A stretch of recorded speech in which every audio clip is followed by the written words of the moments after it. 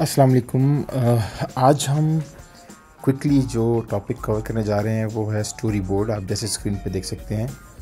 तो story board का जब भी हम ज़िक्र करते हैं तो हमारे जहन में एक स्केच सा आता है कि शायद ऐसा बोर्ड होगा जिसके ऊपर स्टोरी लिखी जाती होगी। तो बिल्कुल ऐसे ही है,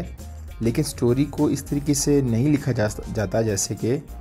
अमूमन हम स्टोरी को लिखते हैं by in in words so story writing के लिए मुख्तलिफ़ और भी फॉर्मेट्स होते हैं। Uh, जैसे कि हम पिक्चर्स के ज़रिए स्केचेस के ज़रिए भी स्टोरी टेलिंग करते हैं। तो स्टोरी बोर्ड का मतलब ये कि हम बेसिकली uh, ऐसा एक uh, ऐसी बुक तैयार करते हैं जिसमें हमने स्केचेस की मदद से अपनी स्टोरी टेलिंग की होती है। और ये स्टोरी टेलिंग किस हवाले से है? अमूमन आपको पता है कि स्टोरी बोर्ड जो है वो हम अपने जो वीडियो प्रोडक्शंस हैं, उसके हवाले से स्टोरी बोर्डिंग करते हैं। और स्टोरी बोर्डिंग में अमूमन जो फॉर्मेट्स वीडियो के जो होते हैं, वो जो जो इंक्लूडेड हैं उनमें जो मोस्ट एक्सपेंसिव फॉर्मेट है, जो फ़िल्म मेकिंग का है, उसके लिए बहुत ज़्यादा इसको तरजीह दी जाती है। इसी तरीके से ड्रामाज़ के लिए भी की जाती है, लेकिन सारे ड्रामाज़ के जो डायरेक्टर या प्रोड्यूसर्स है, वो उसको नहीं स्टोरी बोर्ड को इंक्लूड करते बजट बजट के अंदर, लेकिन it's for all video formats कि आप वीडियो प्रोडक्शन किसी भी उसमें कर रहे हैं, चाहे फ़िल्म के लिए ड्रामा के लिए, या आप कमर्शियल्स के लिए तो स्टोरी बोर्डिंग एक टेक्निक है जिसको यूज़ किया जाता है। इसी तरीके से स्टोरी बोर्डिंग आजकल एनिमेशंस के लिए भी यूज़ हो, होती है। और ऑनलाइन जो कंटेंट जनरेशन कंटेंट क्रिएशन है उसके लिए भी स्टोरी बोर्डिंग की जाती है। तो हम देख लेते हैं कि स्टोरी बोर्डिंग बेसिकली है क्या। तो ये जो स्क्रीन आप अभी देख रहे थे इसमें आपको कुछ स्केचेस नज़र आ रहे हैं और स्केचेस के अंदर आप देख सकते हैं मेरे लेफ़्ट साइड पर या आपके लेफ़्ट साइड पर जो पहला स्केच है जो थोड़ा सा बड़ा है वो एक ख़ास एंगल से लिया गया है। इसको तैयार किया गया है और इसके अंदर आपको एक सब्जेक्ट नज़र आएगा जो कि स्टेयर केस के ऊपर चल रहा है, बल्कि चल भी क्या ऊपर से नीचे जा रहा है, क्योंकि इसके साथ एक डायरेक्शन एक एरो भी दिया गया है जो कि जिसको देख के पता चलता है कि वो ऊपर से नीचे की तरफ़ जा रहा है और स्टोरी जो स्टेयर केस है इसको एक ख़ास एंगल से स्केच किया गया है इसके अंदर। इसी तरीके से अगर मैं राइट साइड पर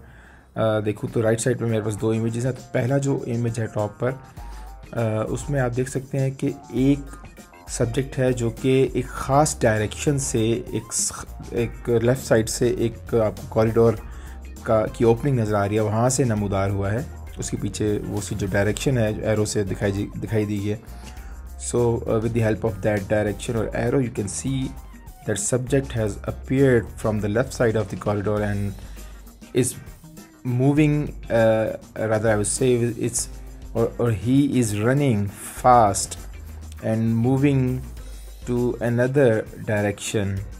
uh, which is quite visible from this angle uh, of, uh, of, of your eye. And similarly if you see the third image so that subject who was previously we have seen was uh, running downstairs and now we can see in this image he is uh, lying down at the end of this uh, staircase. और इसी तरीके से आप उसके पीछे जो arrow uh, है वो देख सकते हैं जो कि एक डायरेक्शन बता रहा है कि ऊपर से सब्जेक्ट जो है वो नीचे गिरा है। और इसका एक ख़ास एंगल भी आप देख सकते हैं। सब्जेक्ट की के साइज़ से आपको पता चल रहा है कि सब सब्जेक्ट को बहुत छोटा दिखाया गया है तो दैट मीन्स कि ये जो जो, स्केचिंग की गई है इसके अंदर एक ख़ास एंगल और ख़ास इमेज साइज़ का इमेज दिखाया गया है जिससे पता चलता है कि कितने डिस्टेंस पे सब्जेक्ट मौजूद है। लेकिन आप देख सकते हैं कि हर इन स्केच के अंदर एक एक स्टोरी नज़र आती है। और अगर हम इन्हीं छोटी छोटी स्टोरीज़ को पैनल्स को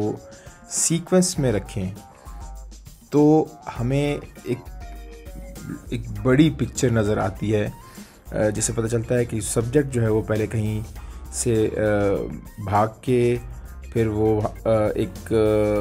स्टेयर केस में एंटर हुआ वो ऊपर से नीचे की तरफ़ उसने दौड़ लगाई और नीचे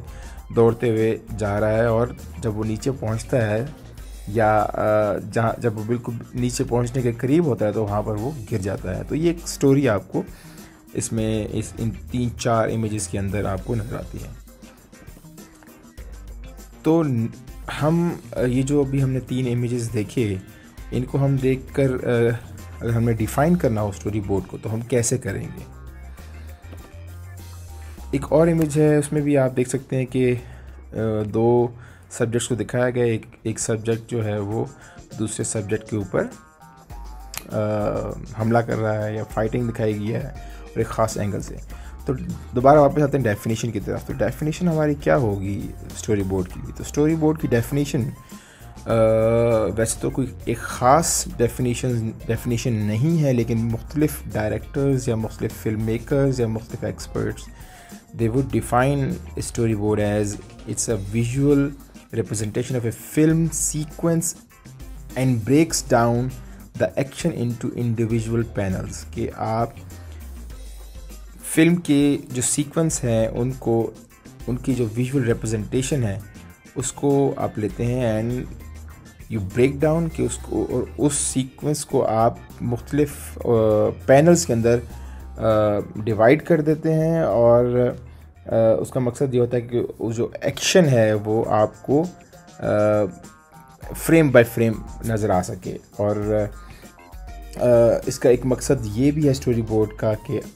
बेसिकली चूँकि फ़िल्म के अंदर या एक्सपेंसिव वीडियो फॉर्मेट्स के अंदर जब डायरेक्टर या प्रोड्यूसर बहुत ज़्यादा मेहनत कर रहा होता है या बहुत ज़्यादा पैसा लगा रहा होता है तो उस को शूट करने से पहले उस फ़िल्म को वो बेसिकली एक एक स्टोरी बोर्ड एक स्केचेस और एक combination of sequence of sketches की मदद से उसको ड्रॉ कर लेता है और उस सीक्वेंस को फिर वो देखता है कि मेरी at the end when when he और she will complete the shooting of that movie और और video so what will be the final product how will it look like तो इसका एक बेसिक मकसद यही है कि uh, before practically going into the shooting uh, phase so in the pre-production phase you know we all know that uh, there are when we talk about production so production can be divided into three phases one is pre-production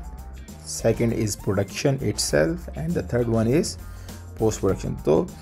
post production में तो output की बात की जाती है ज़्यादा कि output को कैसे हम इम्प्रूव करेंगे लेकिन आउटपुट हासिल करने से पहले इनपुट की स्टेज के अंदर हमारा अगर हमने आउटपुट को विजुअलाइज करना है, देखना है तो वो स्टोरी बोर्ड की मदद से करना है। तो इसी तरीके से story board is is, it's a series of order drawings with camera direction, dialogue और अदर पर्टिनेंट डिटेल्स और अब वो ये कहता है कि सिर्फ़ यही नहीं कि आप उसकी विजुअल रिप्रेजेंटेशन और सीक्वेंस को आप ब्रेक डाउन ब्रेक डाउन करके एक्शंस को ब्रेक डाउन करके उसको इंडिविजुअल पैनल्स में देख सकते हैं but it also contains other information like camera direction के कैमरा की डायरेक्शन कैसे होगी, कहाँ से होगी, किस तरफ़ कैमरा की प्लेसमेंट होगी इस तरीके से डायलॉग की भी डिटेल उसके अंदर बाज़ होती है। ज़्यादा ना हो डिटेल में ना हो, लेकिन कुछ डायलॉग ज़रूर उसके अंदर फॉर गाइडेंस ज़रूर इंक्लूड किए जाते हैं। और अदर पर्टिनेंट डिटेल्स के कुछ और भी ख़ास अगर डिटेल्स उस शॉट की रिक्वायरमेंट्स हैं तो वो उसके अंदर डाल दी जाती हैं। इसी तरीके से it also sketches out how a video will unfold shot by shot के। एक वीडियो कैसे अनफोल्ड होगी, कैसे आगे बढ़ेगी, कहानी कैसे आगे चलेगी शॉर्ट बाय शॉर्ट वो स्टोरी बोर्ड की मदद से आप उसको ड्रा डाउन कर लेते हैं। It is similar to a trial run for your finish film video और commercial laid out in a comic book like form so कहता है कि बेसिकली स्टोरी बोर्ड जो है वो कॉमिक बुक की तरह होती है। और उस उसका मकसद यह कि आपकी जो फ़िल्म जो आप शूट करने जा रहे हैं उसका ये ट्रायल वर्जन होता है before completing that movie film और वीडियो कमर्शियल वट तो ये इसकी एक ब्रॉड डेफिनेशन है स्टोरी बोर्ड की। तो अगला फिर हमारा uh, यह है कि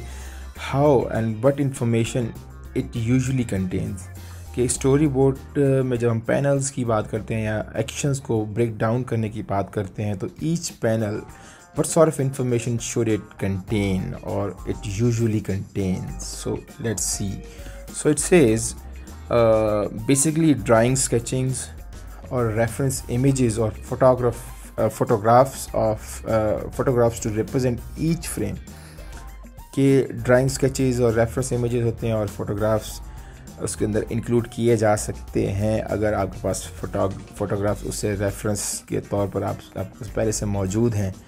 जैसे कि बहुत सारे सिमिलर शॉट्स पहले भी शूट हुए होते हैं तो आप उस तरह का एक फ़ोटोग्राफ आप उसके लिए अपने एज ए रेफरेंस इंक्लूड कर सकते हैं। इसी तरीके से वो कहता है कि it also contains the description of shot के शॉट की डिस्क्रिप्शन के शॉट है कैसा, होना क्या होगा कैसा जो आप शूट करने जाएँगे जब प्रोडक्शन के फ़ेज़ में होंगे तो। Any relevant information on action के, जो एक्शन शूट करने जाएँगे उस शॉट के अंदर, उसकी कोई और भी रेलिवेंट इन्फॉर्मेशन है, आप डालना चाह रहे हैं तो you can also include that into your story board and अगर आपके पास कोई डायलॉग और कंपोजिशन के हवाले से भी कोई इन्फॉर्मेशन है you can also include that into your story board specification of shots कि शॉर्ट का साइज़ क्या होगा? लेंस कितना दूर uh, पड़ा हुआ है सब्जेक्ट सब्जेक्ट से? उसकी जो डिस्टेंस है वो कितना ज़्यादा है? लेंथ क्या आप यूज़ कर रहे हैं? So similarly you can also include more details of the shot like if you shot that you are going to shoot for a particular scene so that shot will be a two shot single shot mid shot whatever details uh, you can uh, include into that and, uh, and finally it also includes arrows to indicate camera and or character movement और how each shot connects to the next one so basically जैसे हमने वो शुरू में जो तीन चार shots देखे थे उसके अंदर आपने एरोज़ देखे उसमें डायरेक्शंस uh, देखी जा सकती हैं कि सब्जेक्ट कहाँ से आ रहा है और किस तरफ़ वो जा रहा है लेफ़्ट से राइट की मूवमेंट होगी, या वो टॉप डाउन होगा, जैसे हमने स्टेयर केस का देखा कि वो ऊपर से नीचे भागता हुआ जा रहा था। तो इस तरह की जो एरोज़ या डायरेक्शंस हैं, वो आप उसके अंदर इंक्लूड कर सकते हैं। ये एक और पैनल है स्टोरी बोर्ड का, जिसके अंदर आप एक सब्जेक्ट को देख सकते हैं। जो कि बिल्कुल स्टैटिक खड़ा हुआ है। तो आप लेकिन इस पैनल के नीचे कुछ और इन्फॉर्मेशन देख सकते हैं जो कि हमने डेफिनेशन के अंदर जिनका ज़िक्र किया था। जैसे कि आप शॉट की डिटेल्स देख सकते हैं कि ये शॉट जो है वो उसमें आप कंप्लीट सब्जेक्ट को नहीं देख सकते। सो so,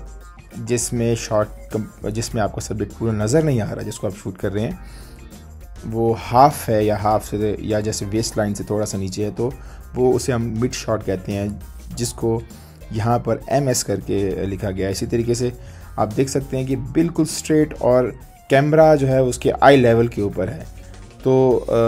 ज़्यादा ना नीचे है, ना ऊपर से शॉट को लिया गया है। तो आप देख सकते हैं कि ये इसका जो जो कैमरा की प्लेसमेंट है, वो आई लेवल पे है सब्जेक्ट के आई लेवल पे। तो वो इन्फॉर्मेशन भी आपने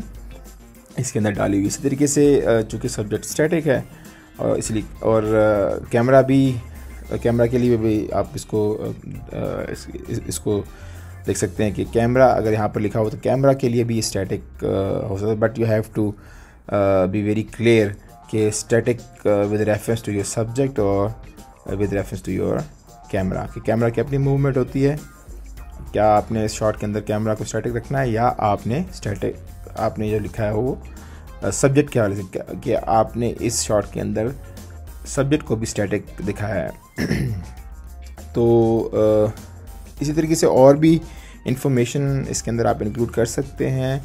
और नीचे जो बेसिकली एक लाइन दी गई है डिस्क्रिप्शन में, वो ये है कि सब्जेक्ट टेक्स द एलिवेटर कि इस शॉट के अंदर ये जो जो इन्वायरमेंट है वो basically inside of an elevator है, क्योंकि लिफ्ट के अंदर खड़ा हुआ है। और और हमें पता है कि लिफ्ट के अंदर सब्जेक्ट मूवमेंट ज़्यादा नहीं करते।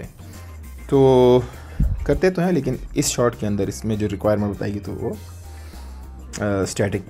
दिखाया गया है। So this was all about the story boarding I will conclude my lecture here with